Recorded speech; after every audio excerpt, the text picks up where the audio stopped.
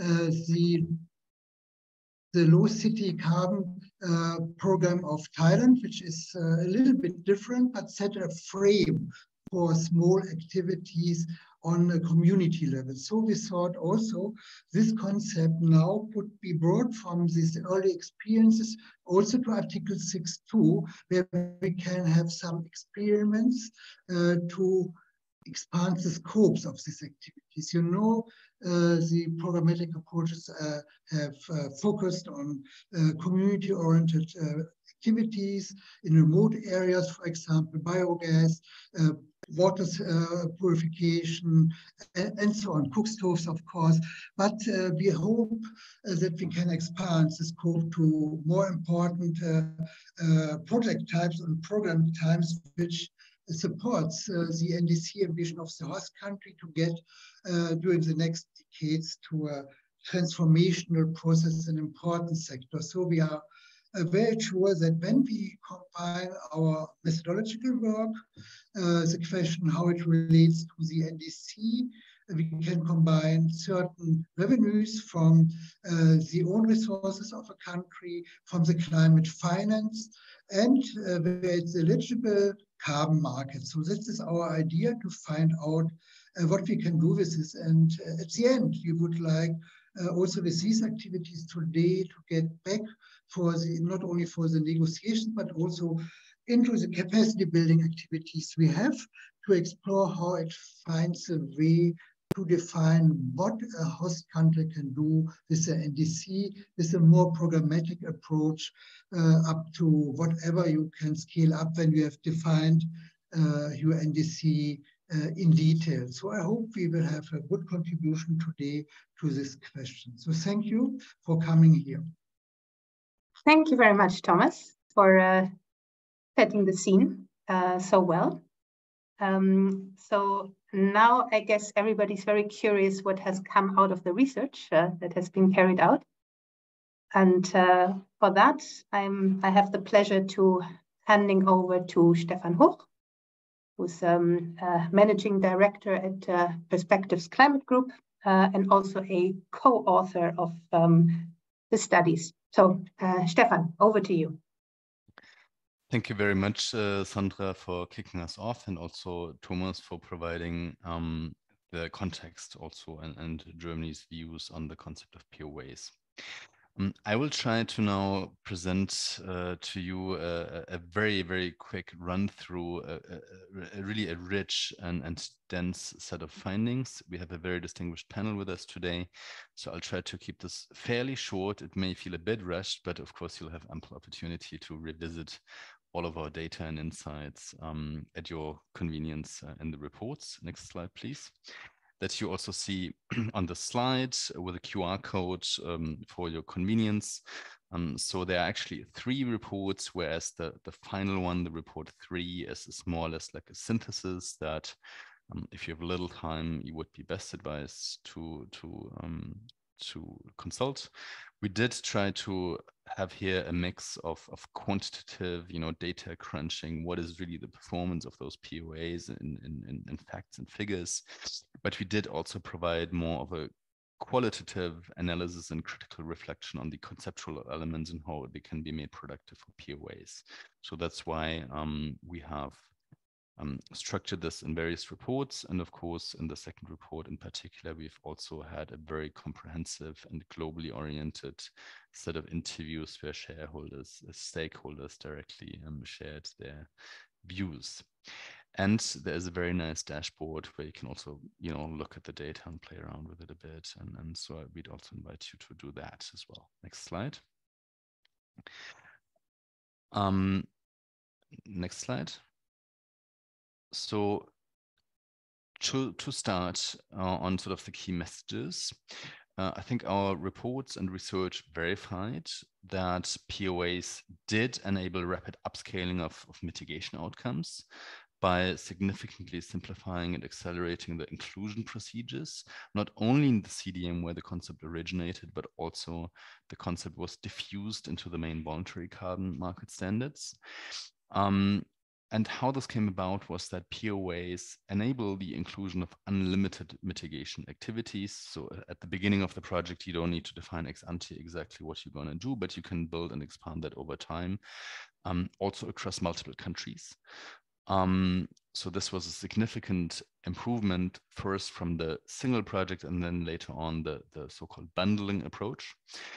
Um, and what, what we saw and what also, for instance, Hari in the Carbon Initiative for Development uh, really took forward was, was to include uh, POAs that are not only multi-country, but that are also supporting multiple technologies. So various types of off-grid electrification technologies, for instance.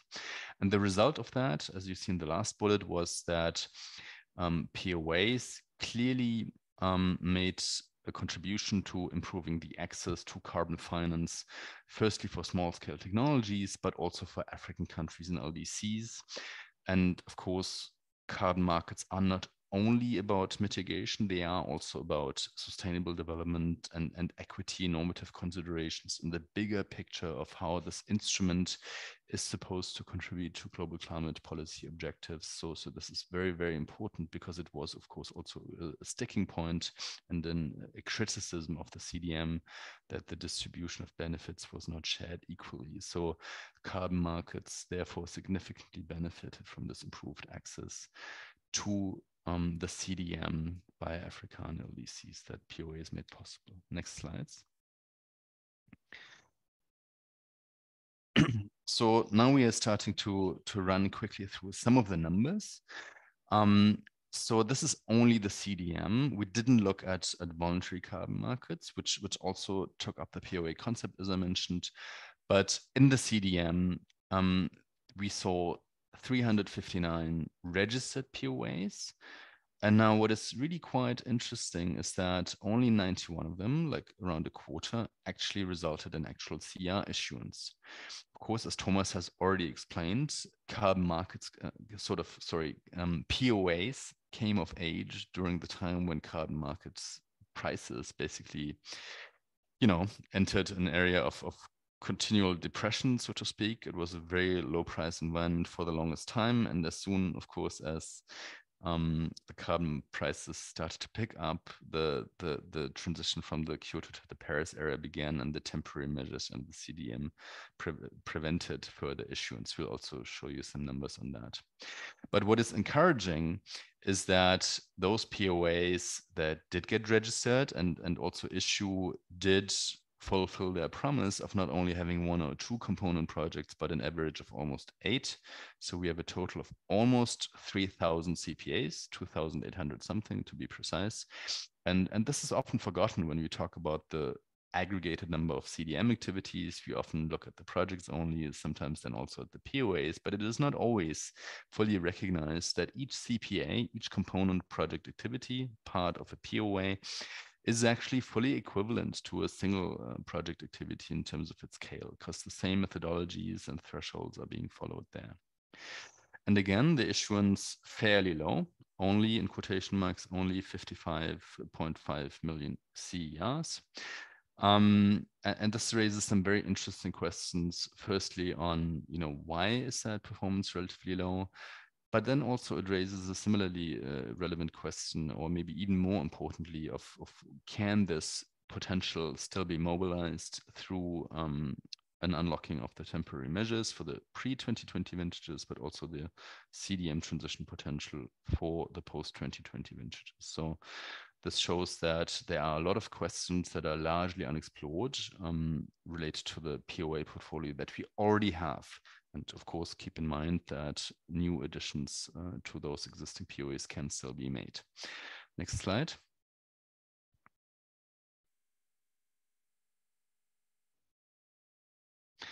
So this shows you the POA performance per region. As we already mentioned, um, the participation of African host countries in the POA portfolio was significantly higher than the single project portfolio, where we have a share of largely 3% for single projects in Africa, now to, to highlight that.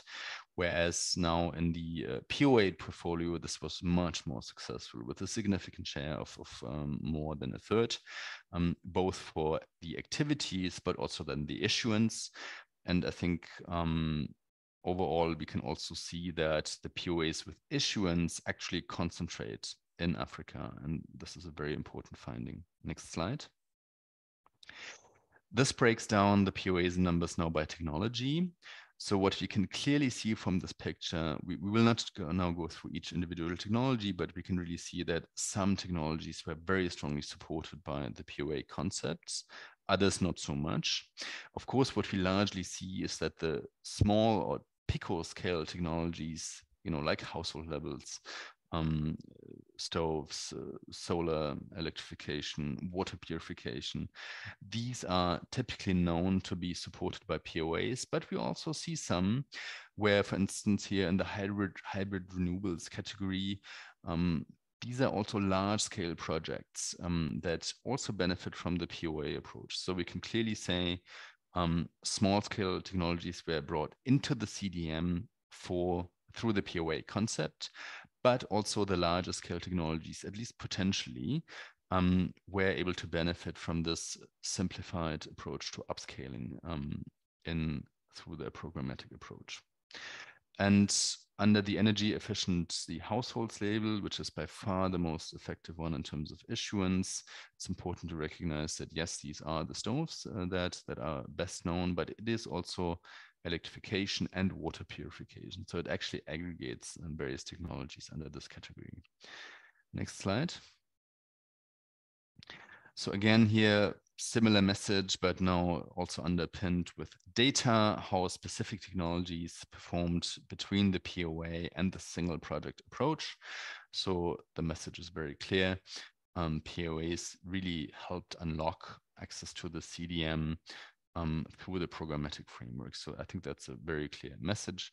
Um, on the other hand, we of course also see certain technologies now in the transport space, geothermal, industrial gas, where it was um, more successful under the single project approach. But today we are concentrating on POAs. So next slide. Um, now taking the next step from reflecting on the actual data that, that we see in the existing quantitative portfolio, thinking about how does that fit into Article 6. And it's very clear in the Article 6 rules that programs as well as projects are part of the approaches that are eligible to participate in Article 6. But of course, it's important to think a little bit more deeply about which lessons can be learned from the experience under the Kyoto era, um, how, how that can be made productive for the Paris Agreement mechanisms. And what we see here so far is that 30, 64% of all regions have developed already Article 6 pilots. These are largely small scale, which are typical for POAs. Only 50% of those include a sectoral scope, and 85% of them are implemented in single countries, as opposed to the multi country approach that we already know from the CDM um, under the POA approach. And how these projects dealt with complexities in registration and implementation, um, I think we can see that most of those projects uh, are not following more innovative approaches, but are more or less following the procedures that we know from single projects. Most of these countries have a centralized project managing entity, um, but POA projects in African countries in particular subscribe to a centralized management entity that oversees the implementation of projects. So we have defined a few characteristics here in the research, but the key message is that POAs already have a lot to offer in terms of experience and also regulatory provisions with managing complex multi-stakeholder, multi-country, multi-technology implementation arrangements. It is quite understandable that in the early stage now of Article 6 implementation, um, the, there's more experimentation at smaller scale that would assume we assume will be expanded over time. We'll be interested to hear from World Bank, KliK, and others what the what the vision here is. Um, but I think, um, yeah, the POA concepts really have a lot to offer for for for also Article Six implementation. Next slide.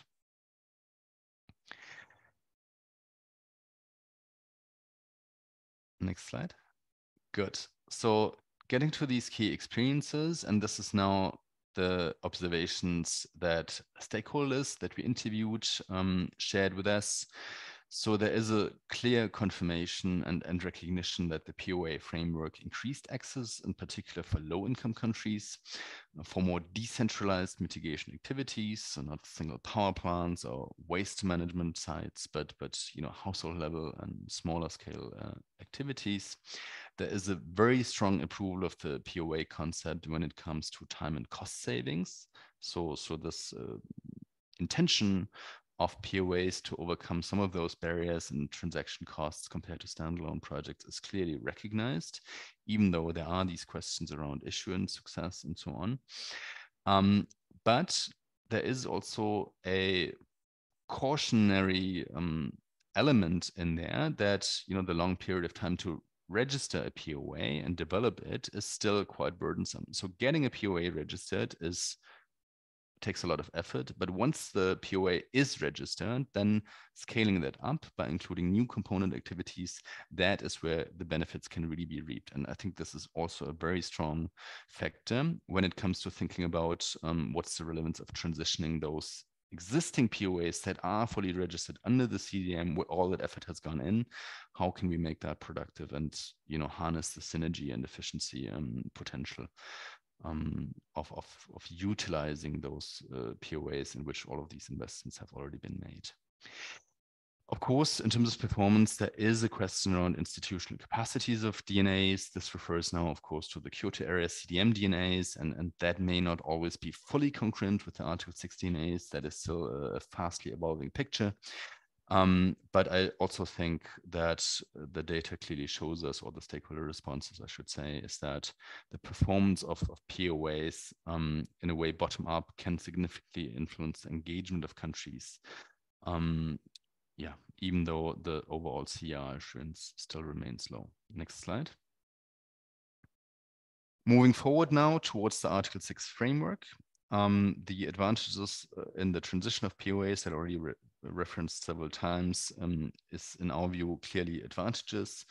Um, and it was also the priority of, of certain regional groups like the African group of negotiators to, to make a strong case that POAs need to be treated with special consideration in the transition from CDM to the new Article 6.4 mechanism and so it will be crucial to address, address these concerns um, to, to facilitate an effective continuation of these programs, uh, as I mentioned on the last slide, where significant investments and time efforts have already been invested.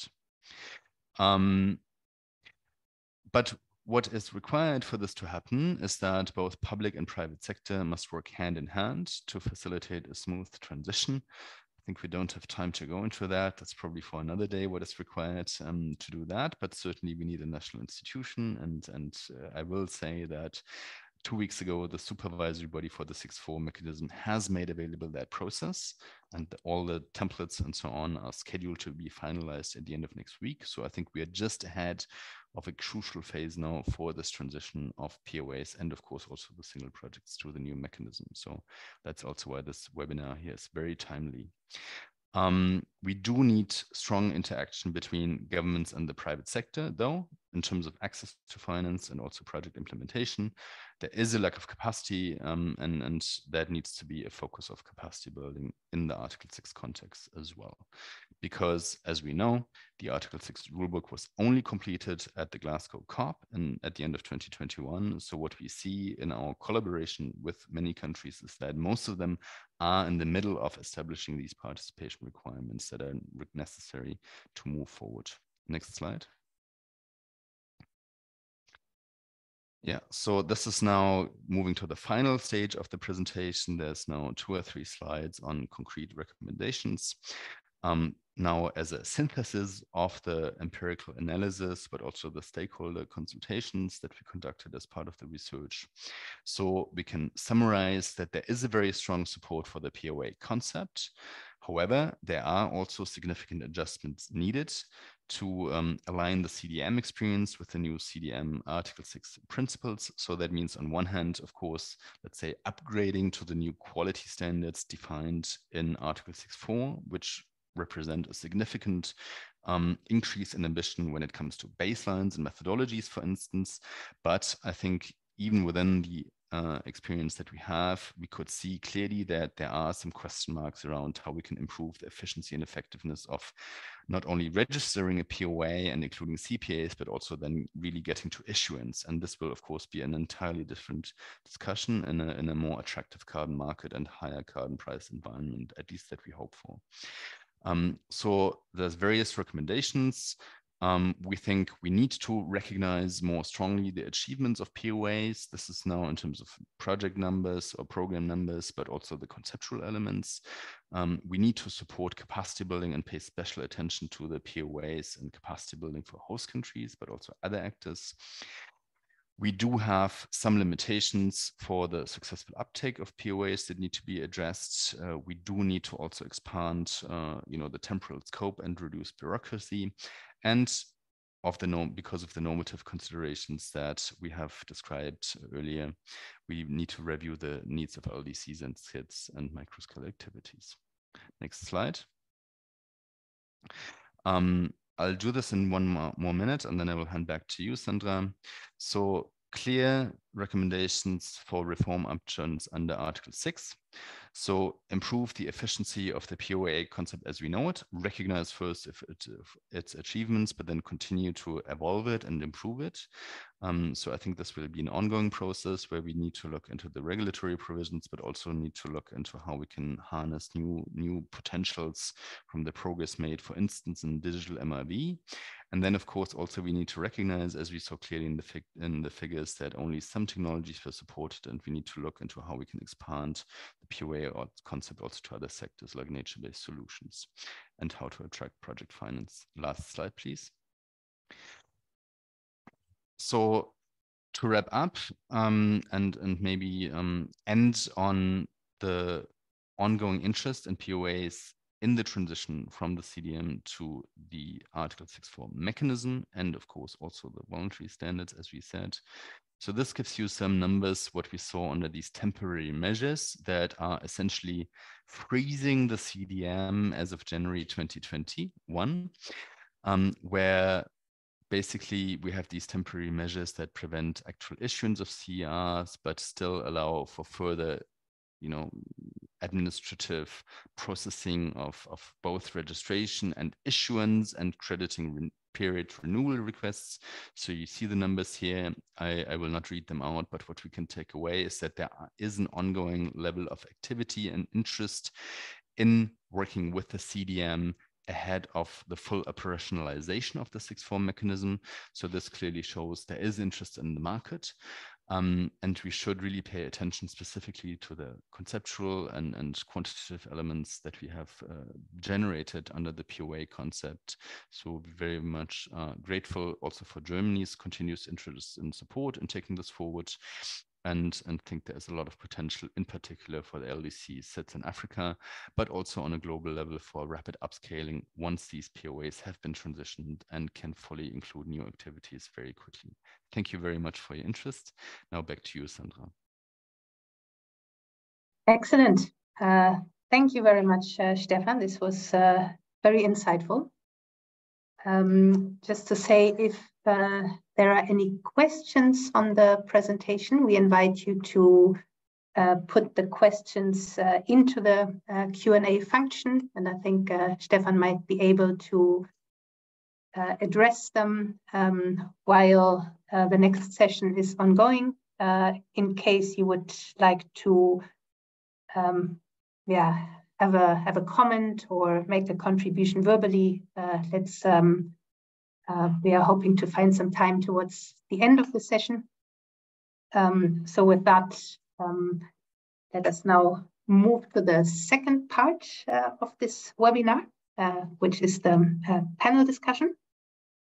Uh, very happy to uh, that we are joined today by um, yeah fantastic panel quite deep expertise on both POA implementation as well as the regulatory side uh, from uh, POA host countries as well as um, uh, private sector project developers um, and um, from the UNFCCC Secretariat uh, and the World Bank. And I'll uh, introduce the speakers one by one. Um, as we uh, go through the discussion. Um, and uh, first, actually, I would like to um, invite Mr. Gajanana Hegde from the UNFCCC uh, Secretariat. And uh, Gash is um, uh, extremely well placed to talk about this topic because he is um, both supporting the CDM executive board as well as the Article 6.4 uh, supervisory body. Um, and um, well, we needed to shift the agenda uh, slightly uh, because uh, Gash also needs to attend an Article 6.4 supervisory body meeting uh, at the hour. So we are particularly uh, grateful to have him with us. Um, so I'll kick us off and um, maybe Paris, you can stop sharing the presentation now so that we can see each other. And um, I'll kick us off with uh, the first question uh, to Gash. Uh, thank you for joining. And um, well, Gash, after uh, perhaps this uh, fervent endorsement that we heard uh, from the research on POAs, I think the first question to you is actually, um, is the Article 6.4 supervisory body at this moment dealing with programmatic approaches of the POA concept? And if so, uh, in which context? Thank you, Sandra, and uh, thanks for uh, the opportunity to join you. And uh, thanks also for the excellent uh, study and uh, very useful findings. in terms of Article 6.4, indeed, as was already mentioned, it is included in the RMPs and um, in uh, several places directly and indirectly. The POA approach uh, has support within Article 6. Um, there is, it is directly mentioned, but also through uh, specific mention of uh, least developed countries and uh, small businesses. Uh, there, there is some level of prioritization within the rules, uh, so which will obviously bring the POAs into consideration. And also, as was mentioned, many of the transitioning projects uh, would also fall in the cat category of uh, POAs. So from that perspective, also some of the early methodologies which will transition will also probably support the POA work. So there is considerable elements there to support the POAs uh, within the Article 6.4 this year uh, or at this moment, the body is more um, working on the higher level principles, how to operationalize the paragraph 33 of the RMP on increasing ambition and uh, different approaches for um, baselines under para 36 and the additionality and uh, all those uh, the principal level issues. Um, However, we expect that early next year, many much of the work would focus more on uh, specific methodologies and uh, the approaches uh, for POS. And uh, we expect some of the early methodologies would facilitate the POS. Thanks, Gash, for that uh, very clear response. Uh, a follow-up question to you. Um, so as we learn from from uh, Stefan's presentation, is um, that the the POA uh, concept is kind of a mixed success, right? So on the one hand, it was hailed as a, a great innovation. On the other hand, if you look at the issuance, uh, it wasn't so great. So the question to you, whether the Secretariat also has looked into um, the success factors or um, uh, bottlenecks in, in the uptake of POAs? Um, and then perhaps I can uh, just follow up directly with uh, also a third question to you. Um, so if you have identified certain bottlenecks, uh, do you also see the potential for addressing some of them? For instance, do you see that like the way the POA cycle works um, and is conceptualized, whether there are any um, ways of uh, improving that? Thanks for uh, the great question. Uh, indeed, many of the elements, uh, Stefan covered it very well. The the advantages uh, that POAS brought and the regional distribution aspects. I want to add a couple of more elements to it, uh, seeing from the regulatory side. I had the opportunity to get involved with uh, from day one on the POA related rules and other issues there was this concept of bundling, as was already mentioned from day one uh, under the CDM, under small scale. There were methodologies which could have supported uh, energy efficiency activities at household level, like efficient lighting or cook stoves, but they did not happen for a long time under CDM. As we all know, although the bundling rules itself was amended several times. It really didn't happen, take off. And one key change that POA brought, brought was this ability to add activities over a long period of time. That was a very significant change. And then it took almost two years to develop the rules, and it, there was a lot of hesitation within the CDM regulatory bodies to, to make these big level changes. It was thought as a very risky affair at that time but uh, the yeah the first factor was then that although it took some time the rules were very clear and then there was some level of experimentation and some level of risk taking which started with this uh, this option of allowing activities to join over a period of time. But also over time there was further innovation and further risk taking. For example the, the, there was this ability of DOEs to add CPAs which was something new at, the, at, the, at that time.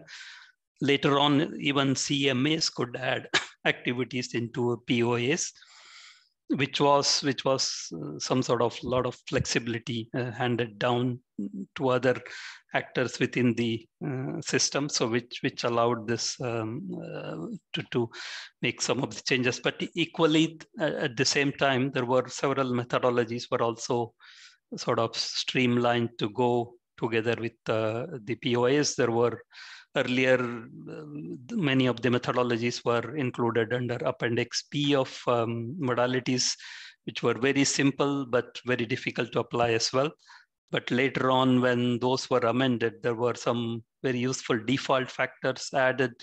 For example, the, the 3.5 hours for the usage of light bulbs, which uh, made uh, development of POAs in that sector um, easier than before, which uh, earlier methodologies require direct measurement.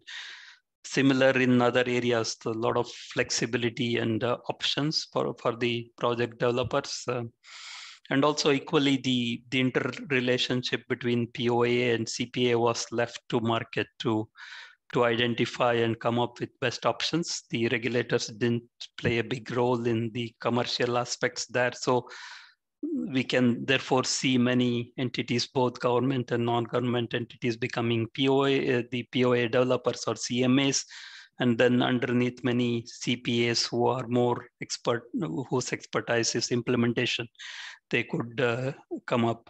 And also the rules allowed multiple technologies, the multiple countries to be included and, uh, and also clear rules on sampling and surveys because that was very critical to achieve um, the, the, the, required simplicity and uh, clarity of rules. And then a clear guidelines through sampling standard was uh, developed. Agree the, the the amount of issuance or the level of issuance is not as good as it could have been uh, if it was little earlier because of the prices. Uh, but certainly the, as Stefan mentioned, by the time POAs matured, the prices had already dropped. But the overall concept, uh, the POA has uh, perfected uh, the ability to take uh, devices, um, efficient devices and useful equipment to the household level in a very quick and very efficient way. That, that has worked very well. So there are multiple factors like this and uh, which, which allowed uh, uh POAs to flourish. Yeah. Thank you, Gash, uh, for all these uh, insights. And um, very glad that you're continuing to uh, accompany this process. Um, so I think um, for uh, the, the future development of the concept, um, that's uh, that's great, and um, we might uh, continue thinking together. Um, so I think from uh, the UNFCCC Secretariat, uh, we would now move to um, the host country perspective. Um, and let me make a quick uh, check with um, uh, our next speaker, Takalani. Takalani, can you uh, hear me and can we hear you?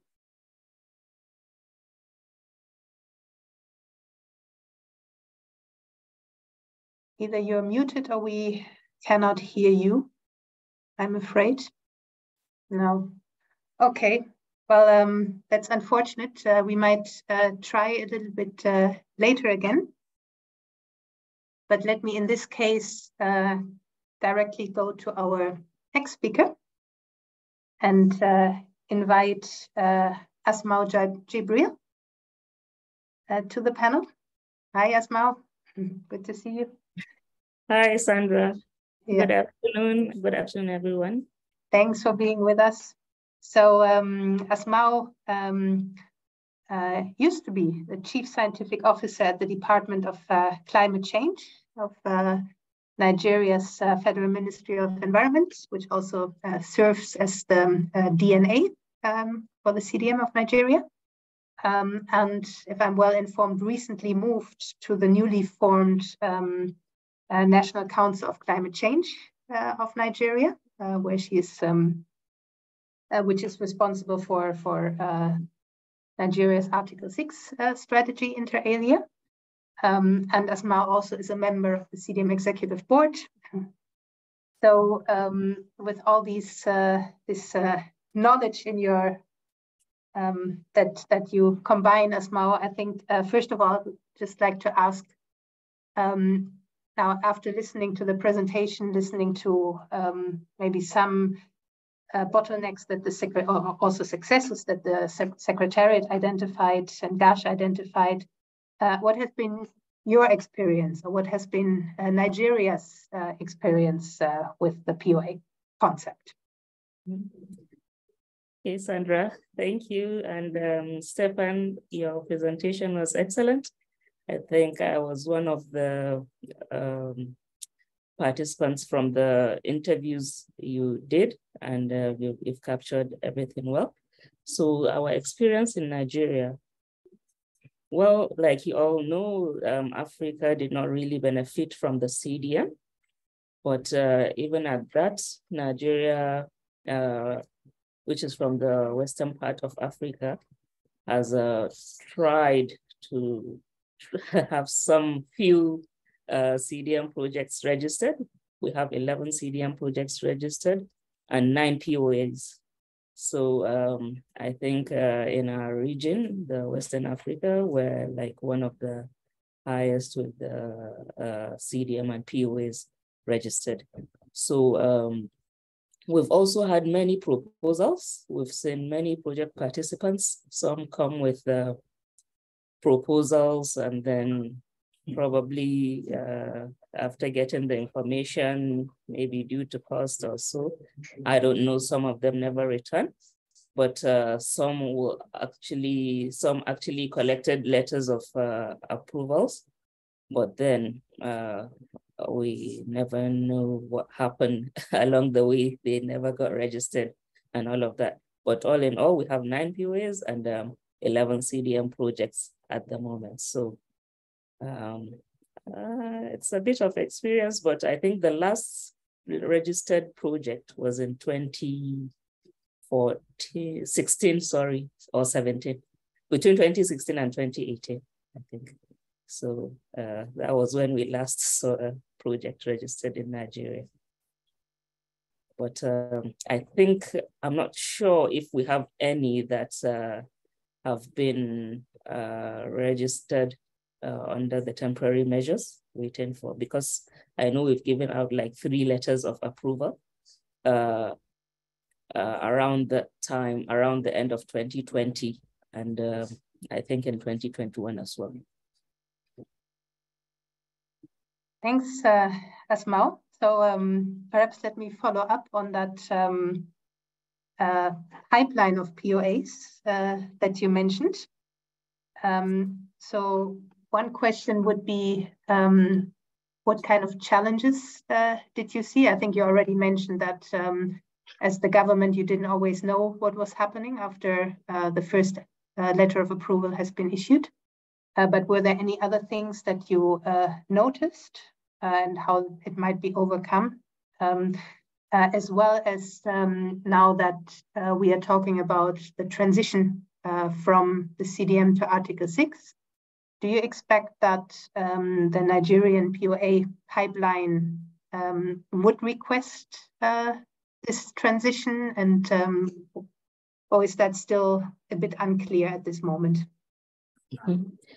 Yes, um, Sandra, like I said, the one of the challenges is that after we issue the letters of approval, the project participants never come back. And because, uh, of course, during the CDM era, we didn't have any obligations, so we didn't really follow up whether they got registered or not, or what happened along the way.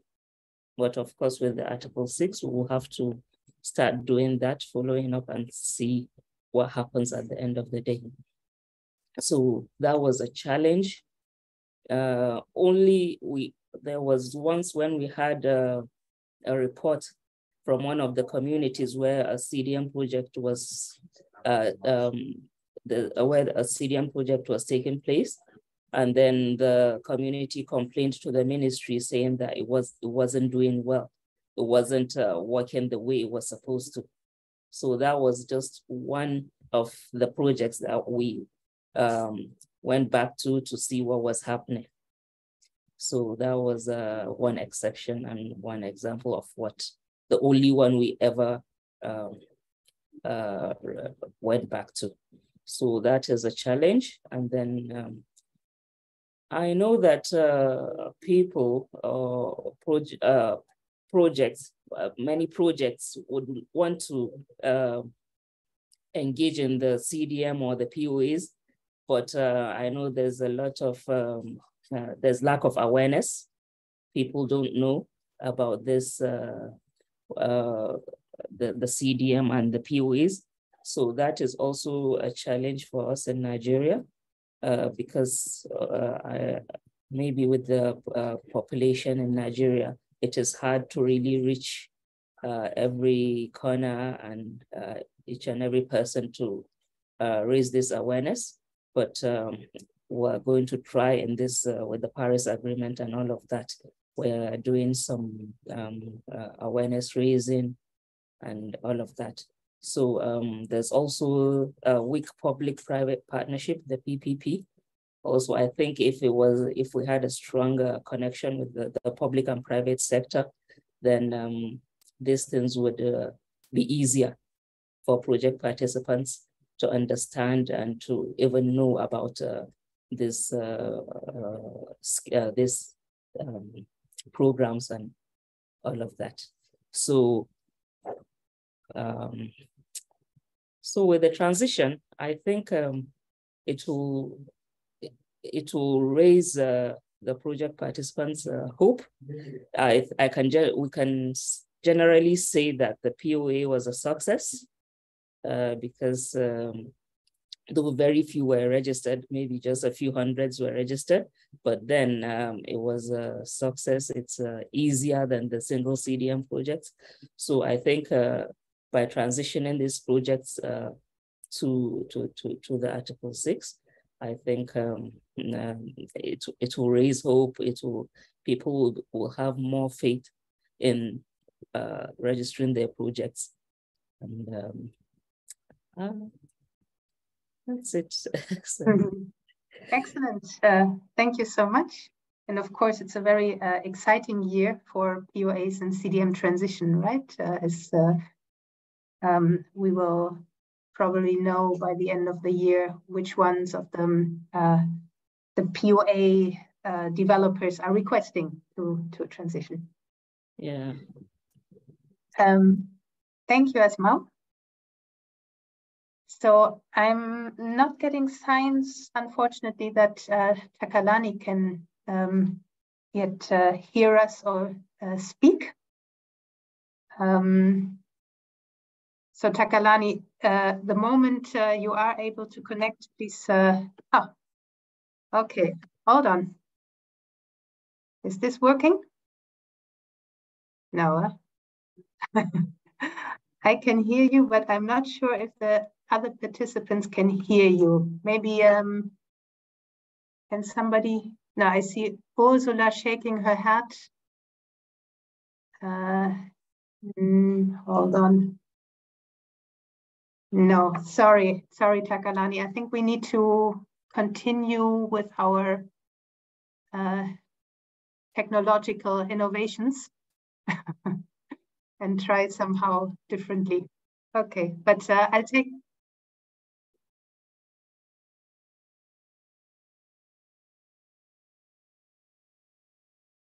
Yes. Yes, okay, we'll try to figure this out in the background and uh, I think we'll uh, just move to the next panelist for now. Thank you for calling in. So, yeah, we need to um, uh, figure that out still with uh, Takalani. Uh, so, um, in this case, uh, let us now change then to private sector um, perspectives. And I'm very happy now to invite um, Ms. Ursula Flossmann-Kraus from uh, KliK. So, so Ursula is, um, sorry, I'm hearing echo. I don't know why. Okay. Yeah, now it's uh, now it's better again. Uh, so Ursula is a carbon procurement manager at uh, KliK. And as you probably all know, KliK has been uh, very active already in, part, in piloting Article 6 uh, transactions. So um, very curious to hear from uh, Ursula. Um, so in the portfolio of KliK, um, what do you actually see um, is the potential for POA type of activities of uh, small, micro, or even uh, pico technologies. Over to you. Thank you so much, uh, Sandra, for the yeah kind of introduction and for the question. Yeah, I'm bringing here indeed um, a slightly different perspective from the KliK Foundation's experience with programs under Article 6.2 of the Paris Agreement. And perhaps just a, a, word on, on background to, to start. So the KliK Foundation is the carbon offset grouping of the Swiss transport fuel importers, and it fulfills a CO2 compensation obligation of those importers under the Swiss CO2 Act by procuring internationally transferred mitigation outcomes, ITMOs, in countries that sign a bilateral cooperation agreement with Switzerland. And uh, to this end, we develop greenhouse gas mitigation programs uh, set under 6.2, not 6.4 PA.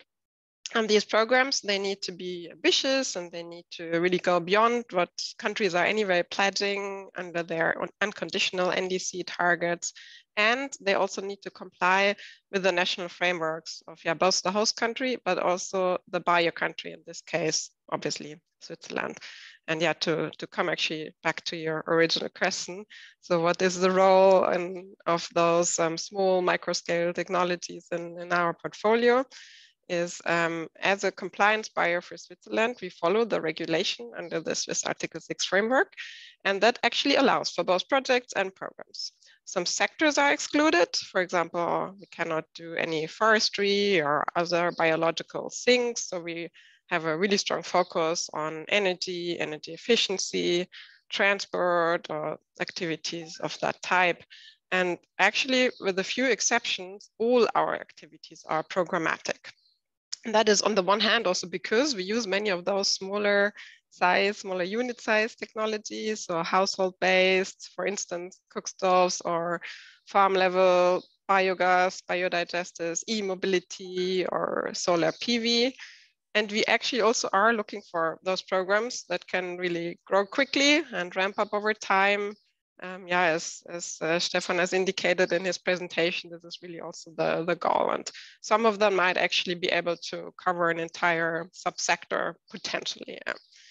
We, of course, also do acknowledge the, the benefits that come for the, the host countries, low middle income countries, and uh, maybe low income populations. So this is also very much, I think, aligning with the findings of the report that is, um, of course, also a good thing, those um, social environmental benefits. Perhaps as a, as a caveat, there's, and for us, for, in terms of process, there's no real time or cost saving because the process is the same for all the activities. So the activity description, we call it the MAD, um, gets developed, and there's validation or authorization by both the host country and by Switzerland and periodic verification so that is, there's no fast track or simplified process if you, if you like. Thanks, Ola. And I find this uh, a very strong message that uh, actually you're um, you're basically only looking at uh, programmatic approaches Almost or at um, at uh, some something that can be ramped up, uh, as you say. Um, and uh, what is curious, of course, is that you're um, now under Article 6.2 rules, right? So where you have some freedom also in um, um, defining the crediting approaches. Uh, so my question would also be, um, how are you exactly uh, implementing programmatic approaches under 6.2? And are you uh, completely following uh, the CDM processes, CDM POAs? Do you see any challenges with that? Or are you uh, seeing that maybe some tweaks here or there uh, are helping you? Yeah, that's a good point. So um, the process, as said, is um, actually the same for both standalone projects, of which we have very few, and in the pipeline, not really um, under active development and programmatic approaches, which is really the vast majority. And yeah, the, the process is the same. So usually the, the MAD, this is our name for the activity design document gets written with an estimated yeah, number of units or also um, estimate emission reduction volume. And um, those then can be included based on clearly defined um, inclusion criteria. The onboarding of those units is then rather simple with a letter or contract, not necessarily an additional MAD. And um, it is possible, though, to use an existing POA and add a new CPA as an ITMO program, as long as the POA fulfills the criteria of both the host country and the Swiss um, Article 6 framework. The criteria, for instance, for quality or for ambition and some this also where then sometimes the challenge actually lies. So maybe the program owners might not be able to comply with those um, criteria. So if, if, you i mean stefan has presented a quite a large number of, of poas where in the cook stoves um, segment and there they would need to be really the high tier stoves etc so it might not actually be so easy to to then add um, an ITMO program that fulfills the criteria so, so easily to an existing um, POA. But it's in principle possible. And yeah, perhaps we have to, to find those um, examples that surely will be out there. It's also possible to design a program as a POA in the first place. And it has also happened actually in the case of our first authorized program, the Bangkok eBus program. It actually is a POA, actually it's two POAs because this is a requirement from the Thai framework. So the, um, the program has to be also registered under um, the TVER, which is the Thailand Voluntary Emission Reduction Program, as a POA. And here the POAs have size restrictions. For example, 60,000 tons a year for the POA or 20,000 for the CPA. That is actually quite effective um, measure to address um, overselling risk and, and manage that risk and it's not a Swiss, Swiss requirement. So we have different requirements from both the host country and Switzerland. And if in, in our case, it is only one MAD, but it's yeah, yet nevertheless, um, the different bus lines are organized in, in different POAs. But this is perhaps also where a potential challenge can lie because you add complexity if you follow both processes, if, if you like. So um, if you yeah add um, players, if you add um, rules, then you add complexity and potentially also um, yeah cost and, and time. In this case, it works very smoothly, but as a general rule, I think, or as a general experience or, or lesson, I think from our experience is probably it's probably good to try to limit complexity. And this is perhaps also, as you as you already mentioned, challenges. We we do we do have some multi-technology programs where it really makes sense, where it's like inherently logical for the success of the program. So let's say energy efficiency in the SME sector, you you will add a few different technologies or adding biogas and cooking, for instance, that, that just makes sense. But having, yeah, just otherwise uh, linking different technologies is, is um, can be a challenge and adds complexity, makes it, makes it too complex. And therefore we, we don't really have that. Also multi-country POAs, this was mentioned before, it's a really a great opportunity for some groups of countries, for especially SIDS that are just not um, very big on their own. In our case, so far, it doesn't work because the Switzerland has signed these agreements with 11 countries and they're more like less scattered around the world.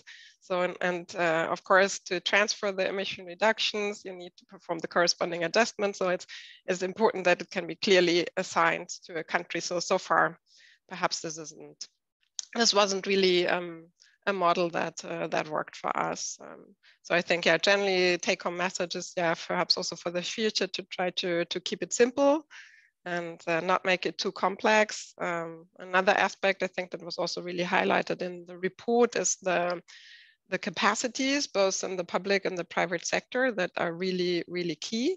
And we also experienced that because Article 6.2 actually requires even more active host countries than perhaps let's say in, in Kyoto times.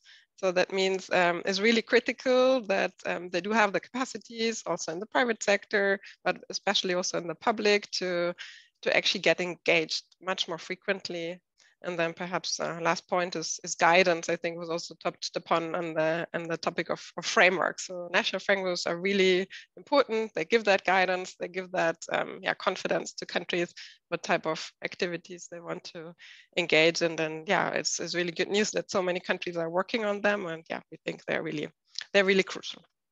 Perhaps I'll leave it to that. Wow. Thanks. Uh, well, I, I learned uh, so much. And I think for me, what is uh, uh, really also an interesting message is that you talked about a cap now on POAs under Article 6, right? That, uh, I mean, normally we are always thinking about how can this POA grow more, but uh, mm-hmm. of course, if you have to, at the end of the day, uh, or think about authorizing uh, mitigation outcomes, then you might want to stop somewhere, at least. For exactly. The for the host country's perspective, it makes actually a lot of sense. Yeah, interesting. Thank you so much. I think the good news is that um, uh, I've seen Takalani now join uh, again um, and probably with the uh, ability to unmute. Takalani, can you try again? Hi, good afternoon, Sandra and colleagues. Are you able to hear me? Yes, we are. Excellent. wow, at last, eh, technology can be challenging at times. Uh, thank you so much. Um, I'm not so sure. Are you ready for me or? Yes, I'm ready for you. So okay.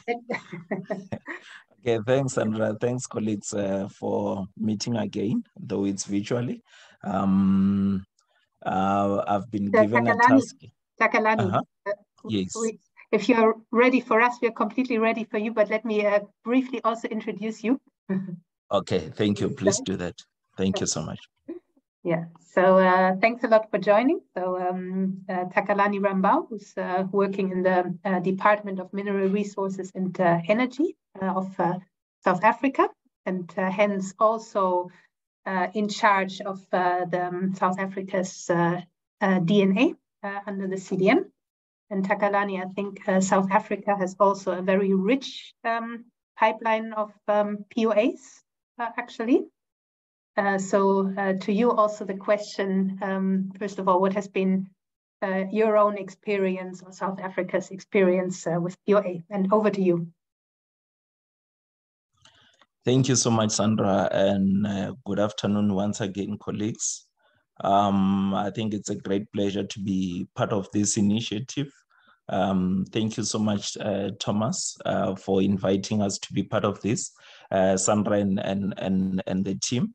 Um, so yes, indeed, South Africa, it's, um, it's one of the signatories uh, under the UNFCCC. So as indicated, my name is Takalan Rambau. I'm from the uh, government of the Republic of South Africa. We are responsible or we have been given the duties to discharge um, the this uh, responsibility under the DNA, uh, which is the designated national authority for CDM. Over and above that, um, we also have got the responsibility to administer the South African carbon offset program uh, in support of, of the carbon tax, which was implemented in, in 2019. Um, I'll also touch to that the impact of, of, of the carbon offset uh, uh, program that we have, what it has done uh, to the CDM and POA at large. Um, so indeed, I think uh, I would uh, also echo what the other colleagues have said uh, with the fact that Africa, I think as a whole, did not necessarily benefit much or did not reach uh, what we had anticipated in terms of, uh, of the benefits under the CDM. And I think uh, colleagues have already said a lot. Uh, we've got uh, who has also spoken to the challenges that we've experienced. Uh, Stefan has also spoken to some of the challenges. The colleague from uh, Nigeria has also spoken to some of the challenges, which is mainly around the, the bureaucracy that CDM was coming up with. Uh, also around the issues of methodologies. Uh, most of the methodologies were not necessarily fit for purpose in terms of uh, our situation, for example, in South Africa, most of our projects, they are at a very, very uh, uh, small scale, or they are sort of like sub-projects um, which created a lot of challenges and it made most of the uh, of the projects or initiatives not to be uh, uh, cost effective in terms of implementation or to be viable for implementation.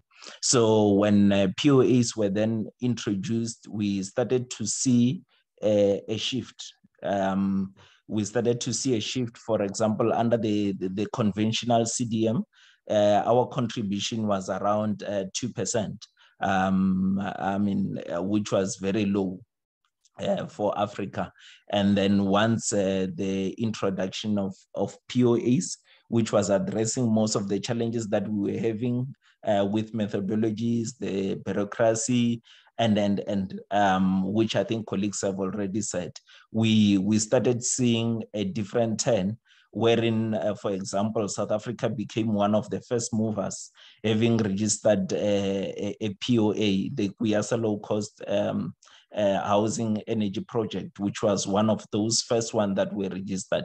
and I've seen, uh, Sandra, you you call this one a, a de facto program of activities uh, which is quite interesting.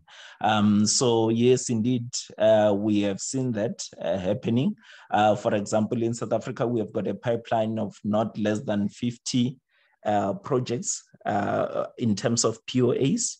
Um, so that on its own, um, from the total pipeline that Stefan has indicated, which is around just below 400, that shows that indeed uh, there was a shift from what was happening under the conventional CDM to now implementation of uh, of the POAs. Um, and I'll I'll try to talk to some of those advantages that at least has made this to to to to be a success. I think uh, some of the challenges that maybe we have been experiencing under the the standalone or conventional CDM was that you need to know all your activities or you need to have identified all your activities from the beginning, which uh, under the POA, that was not the case. You can then be able to uh, register your POA with at least one or two CPAs, which was good and at a later stage you can then add your your CPAs, which was making life very easy and also cost effective uh, because uh, the, the I think we all know that the registration cost for for for, for CDM has always been a, a challenge. Um, so that that's one of the reason.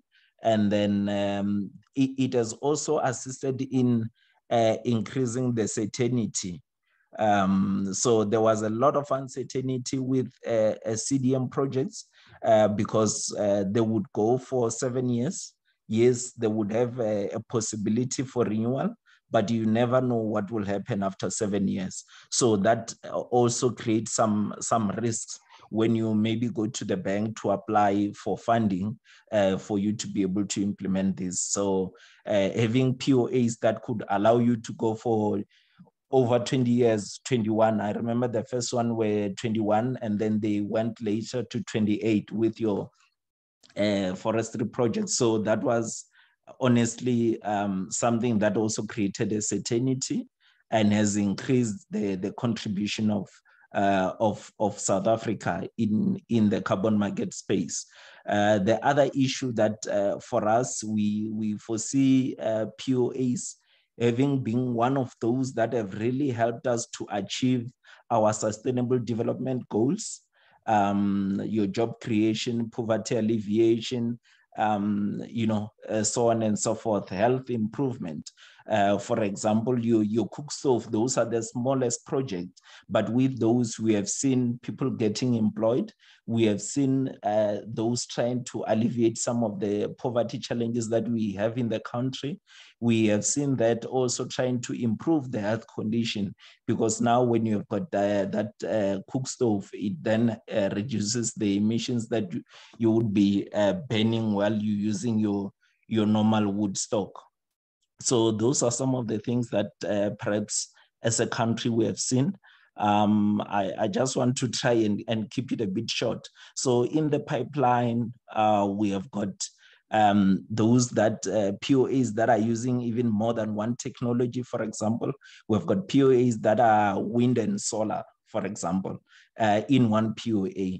Um, so um, it, it allows multiple use of technology as opposed to conventional CDM, uh, for example.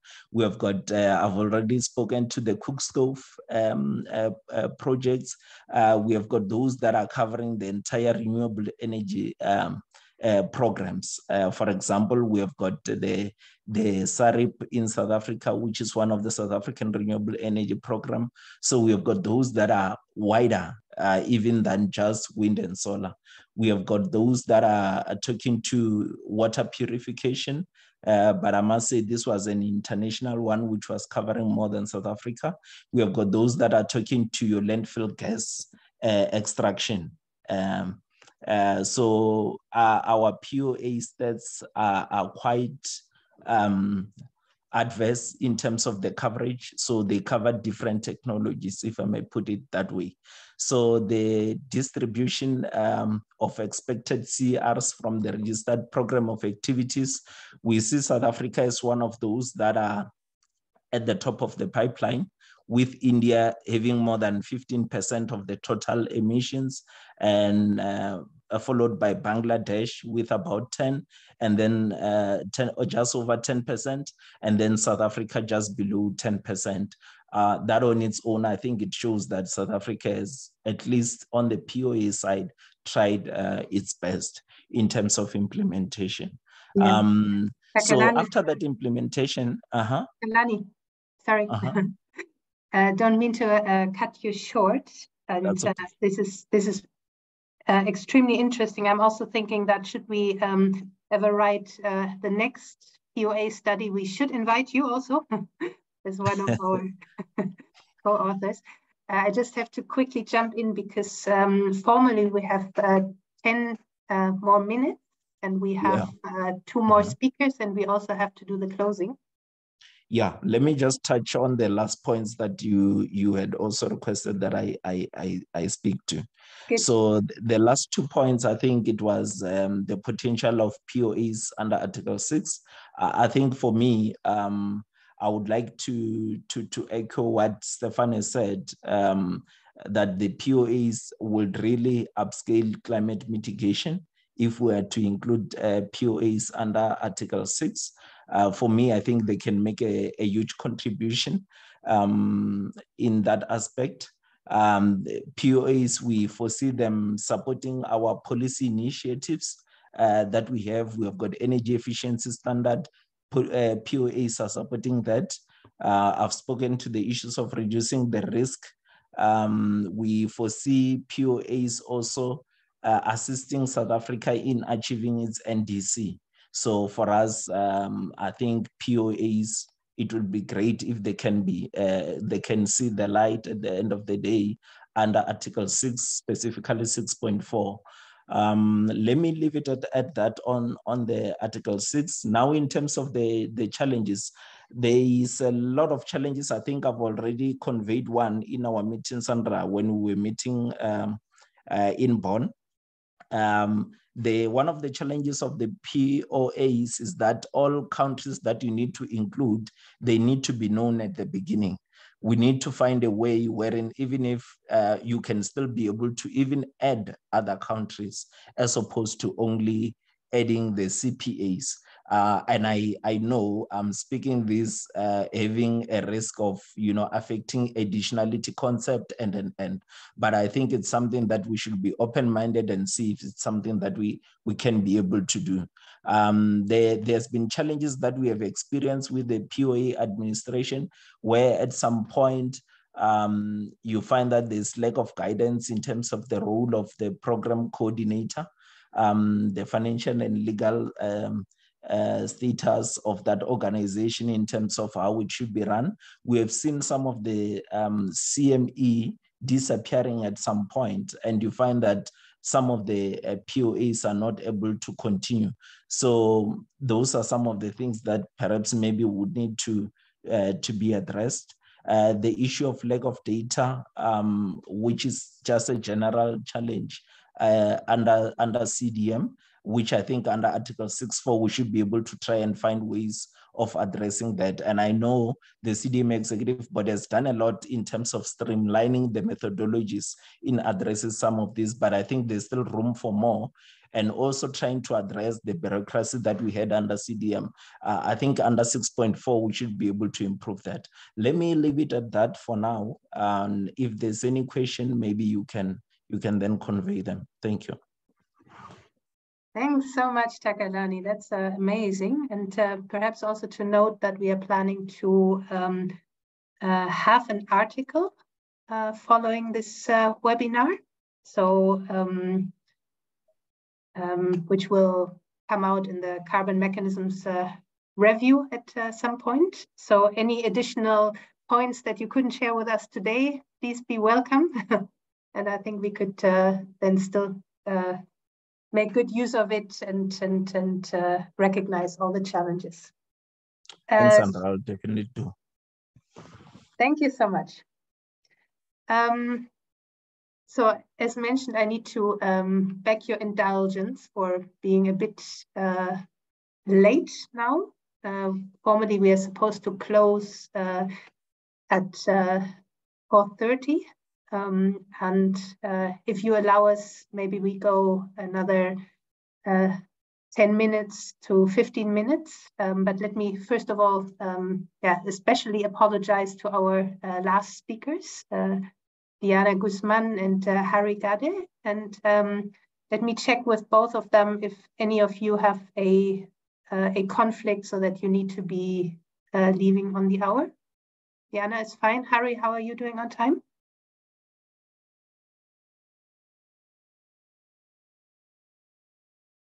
We cannot hear you. Can you come again?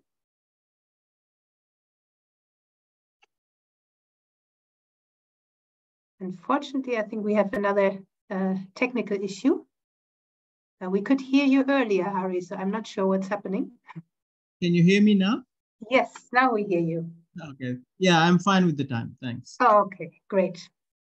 Perfect. So then we will just uh, continue uh, in our normal order. Um, and I'm very happy now to invite uh, uh, Diana Guzman Barraza uh, from uh, ALLCOT, where Diana recently joined uh, as the Article 6 Global Climate Director. So I guess uh, we need to take turns, Diana, with unmuting. Otherwise, there's a bit of an echo. Um, Yeah, so let me uh, kick off with the question basically um, as, a, as a project developer, including in uh, CDM and Article 6. Um, so what is your experience with, um, with the POA concept uh, in terms of both challenges and lessons learned? Thank you, uh, Sandra, for the invitation and for the introduction. Okay, so in our view, the POAs present a very interesting opportunity moving forward because we, we notice like many of the many countries have like um, sister indices. So um, they have similar challenges. For example many of the island states in in the caribbean all have the same uh, waste management problem. So the same technology can be applied in multiple countries. So having everything in a regional POA, for example, would really facilitate things, although the bilateral agreements, of course, um, uh, have to be seen uh, on a one-on-one -on -one basis, like uh, spoken with um, with Ursula. But uh, definitely that's something that we would like to push forward in Article 6.4. And actually, we are um, very uh, motivated to be part of all of this transition. We're actually like now um, offering this service of, of consulting uh, for the project developers to transition into Article 6.4. But one of the challenges is, is um, of course, uh, that, uh, well, everything is not very clear yet in Article 6.4 and like the government representatives themselves still don't have a clear way forward. So DNAs are, uh, some of the countries don't even have appointed one or some just, you know, are not responsive because the, the, the road forward is not clear. So that may present a challenging uh, moving POAs forward with 6.4, definitely. And um, well, another challenge is uh, that unfortunately, although there are similar challenges, also there is a lot of uh, variability so it's sometimes difficult to have like one solution fits all. Although, you know, it is a yeah, similar problem, it's a similar technologies can be applied, but then as uh, some of the other panelists pointed out, then, you know, the sizes are different, the, the times moving forward in, in, in different countries are also differ. And that's why sometimes there is a lag. So as, as uh, we mentioned um, on some of the earlier participations, like there are many uh, POAs uh, registered, but not many of them issued with issue like credits. And this is what happens. So in, in, in ALLCOT's experience, uh, some things get, um, uh, they experience a lot of challenges in, in, in, in, in the way um, in the way forward that are not necessarily foreseen. And uh, well, sometimes there is delayers and, and people get very ambitious trying to cover um, many things in the POA because it's okay, no, let, us uh, take advantage and we're going through this process and we're using the same methodology and and let's move forward like this. So they, they get very, very ambitious. So you see uh, regional POAs with many countries in there, but then actually just like one part is, is, is active. And this is what happens because it, sometimes there is, yeah, similarity, but there also variability and, and, and especially in the way moving forward. The surveys, for example, are very expensive to carry out. So it's not easy, for example, to go out and you know visit like many households and out in the out in the field. So that sometimes uh, presents a very big uh, um, challenge. Uh, but what uh, some something that could really help uh, um, things uh, be pushed forward could be having um, more whitelists. So as the countries get prepared to transition into Article 6, uh, maybe 6.2 or 6.4, having whitelists really facilitates uh, from the project developer's point of view. So it is very um, easy for us, for example, to take uh, Ghana's example and see the whitelist. So we will know right away what can work and what does not work. Uh, Ursula with the KliK Foundation also has a whitelist that, that we know already what KliK, what we can offer KliK. We know already what we can offer um, to the government in Ghana. But this is a very uh, big uh, black box in the rest of the countries for now, right? So they have different levels of advancement. Some of the countries that are involved in the um, DAPA and MATS program for GGGI are a little bit more advanced in, in comprehending the opportunity and getting their institutional arrangements but all of the rest are, are and also in the countries that are involved with the with Hari, with the centralized uh, crediting framework, they will also have a, a way to uh, streamline some of the processes that can be also useful for Article 6. But for the rest of the countries, we still need to have some patience because moving forward requires more uh, clarity on behalf of the governments. Although we can have clarity with the project proponents, with the project owners, with the technology partners, with the developers and consultants that uh, intervene as ourselves, uh, we still need to go through the bilateral agreements and process with the host country. So that presents a, a big challenge um, moving POAs forward into Article 6. And um, lastly, uh, we mentioned earlier about the new technologies. So another challenge that we see in, in incorporating new technologies is that often uh, these uh, very new technologies or, or future technologies are, are not often part of the NDC uh, themselves, and even less part of the conditional NDC. So that's that's often a, a, different team that is preparing the NDC than the team that is preparing the long-term strategy, where we usually see these new technologies. So uh, having more communication between these two teams and getting those new technologies since the start in, in the NDC implementation plans and more even better in the conditional plans would definitely fast forward and streamline the processes. But for now, there is a little bit of a disconnection. So it is difficult to apply all of these emerging technologies in, in the NDC implementation plans.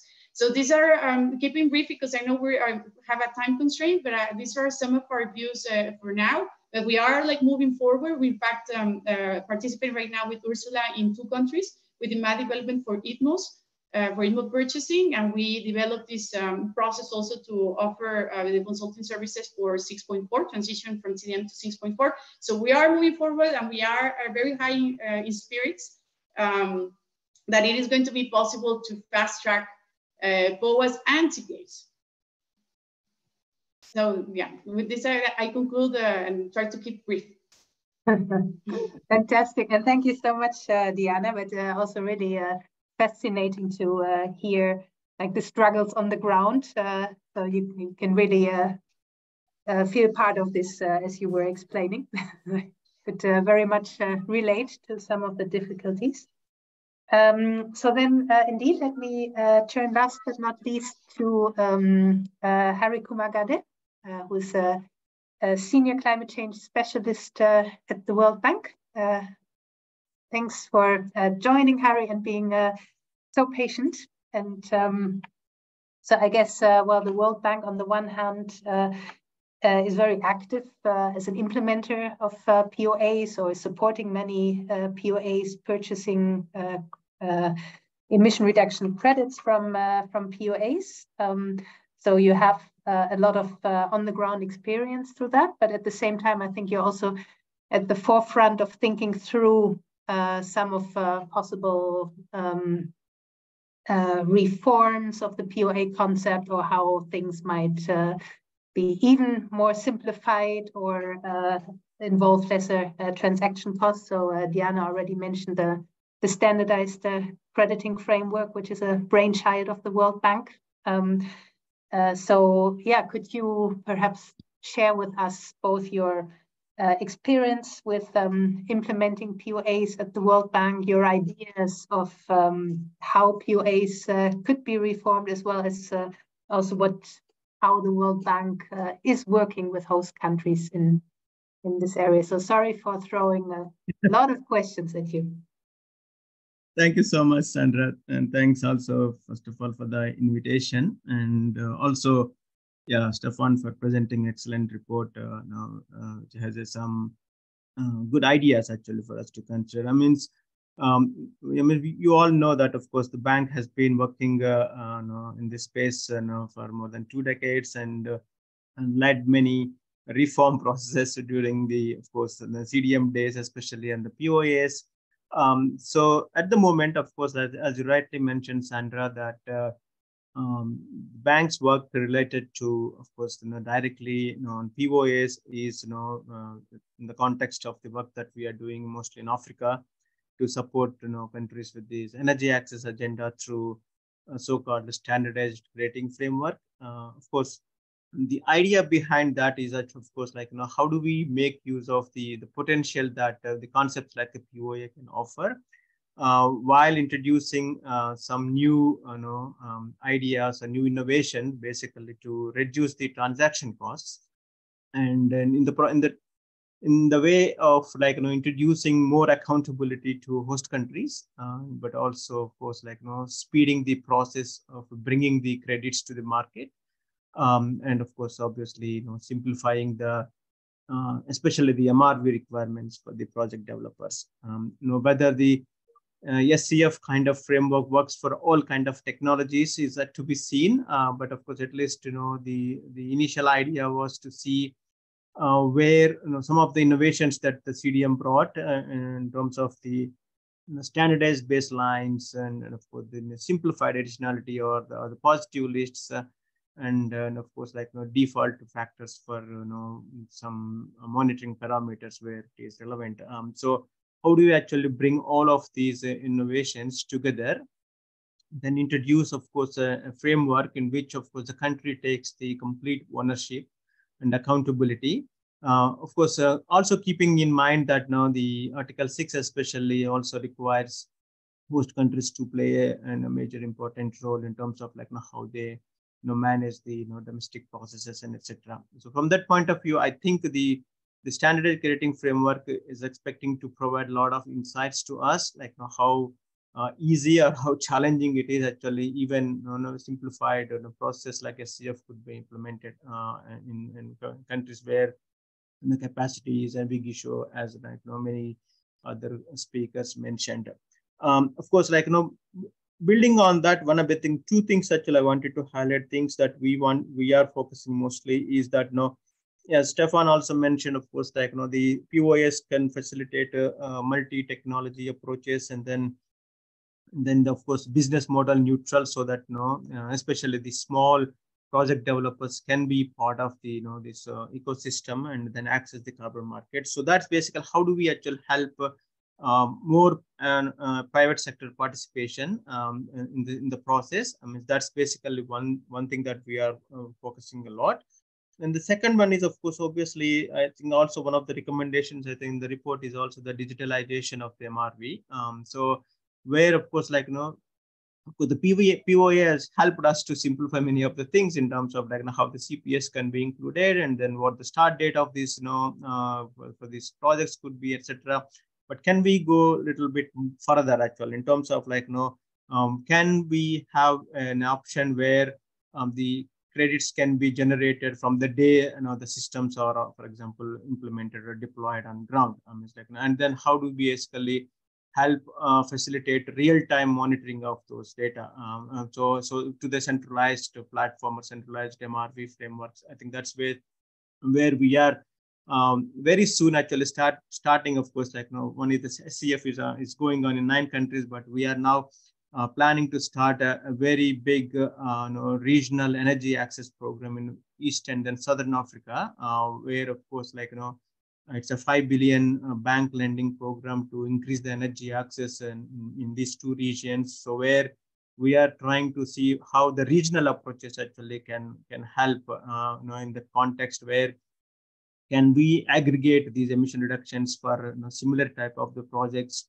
where the of course regional actor can play a you know important role in terms of like you know, aggregating these things but as we all know, I mean, it's like, you know, I think one of the challenges that we already, you know, witnessing is that, you know, given that you know, now under Article 6, you know, each country has their own NDCs and then their own requirements in terms of like, you know, how to do the authorization and then how to treat the ownership of these credits. So how do we actually handle such kind of issues um, under the regional approach? Uh, what the pros and cons, like, you know, whether can we simplify such a requirements in a way that, you know, you know, some centralized agency in consultation with the host country DNAs can play an increasing role um, so that this transaction cost can be. So we are very excited about that uh, that uh, that uh, you know, work that is likely to start very soon, and then of course, and integrating the digital MRV into that, and then making use of the you know different open source infrastructure like bank, UNDP, and others are developing. So we are bringing basically together the regional actors and then the digital MRV, and then the multiple sector, sorry, multiple technologies, you know, and, and the, different countries uh, to a kind of a you know, regional platform where of course we are hoping that you know, we can also bring some kind of innovation to the how the methodologies can be you know, of course developed in terms of like you know, how do we actually quantify these emission reductions so for a similar type of activities but spread across in different countries can we go one step ahead and then see you know, linking these emission reductions to the increase in the electrification rate instead of going into surveys or individual you know, activity level. So we are basically trying to bring many of these uh, aspects into this one while building the capacity of the different actors. So I will stop here. I'm just like happy to uh, on you know, elaborate a little further more than if needed, but I think that's basically what we see. There's a lot of opportunities here, of course, like you know, and then uh, Article 6.2 at least provides a little bit of flexibility in terms of how we can handle these things and uh, and then introduce more innovation, um, making use of you know some of the things that we already achieved, but taking one step behind beyond actually, including of course the sectoral approaches that you all know that the bank has been working. I'll stop here. Thanks, Sandra. Thank you so much, uh, Hari. So that's uh, really interesting to hear already about the new frontiers, also that that you are thinking in a, a in a scaled up uh, approach. Um, and again, I would also like to thank you all again uh, much for your uh, indulgence. Um, I see that there's um, a question in the chat uh, for you, Hari. So maybe you can uh, address that. Um, and um, so from my end, I think you can um, hopefully address that uh, directly in, in writing. Uh, so from my end, I just want to uh, thank everybody so much for uh, staying so long with us. I think this has been a lot of uh, food for thought. I found it uh, extremely interesting. Um, I'll not attempt to uh, summarize anything, but for that, I will I will pass the floor actually to Thomas to share with us his final thought and then conclude the meeting. Thank you. So thank you um, all panelists and thank you especially Sandra for this moderation. Wonderful, thank you. Uh, what can I say at this final moment, at this uh, lead uh, moment? I think it's for me, for the uh, ministry uh, responsible for carbon markets in Germany, it is clear that we go further this way. We will do our best to discuss this. We have several ministries which could be active um, on the uh, car market and especially on the POAs. Uh, so I will bring it as a promise into our internal interministerial coordination um, and to make it clear, we have uh, also the traditional environmental ministry uh, in favor for removals, uh, for certain removals, of course, and uh, the BMZ, our economic cooperation ministry with the uh, development aid. So there are many uh, ministries which are in Article 6, even if we are not buying for compliance. Furthermore, we will bring it into the project pipelines of our um, capacity building projects, which we see really running uh, that countries with their NDCs formulating their strategies are keen to know which project types they can undertake, how they will do it. One example we have experienced just ahead of CSB meeting now in Bonn, that certain countries, even uh, far advanced in the Article 6 preparation, think about uh, positive lists which are easy to accept for the NDC strategies. I think uh, we are on a good way and we should take up uh, what uh, Sandra said for the next CMA. We should try our magazine uh, to bring a big focus on, on the POAs. And of course, we will try also um, to ask what is the uh, yeah, best way forward for POAs after COP 28. So this could uh, result, of course, in a new uh, project activities for the promotion of this idea.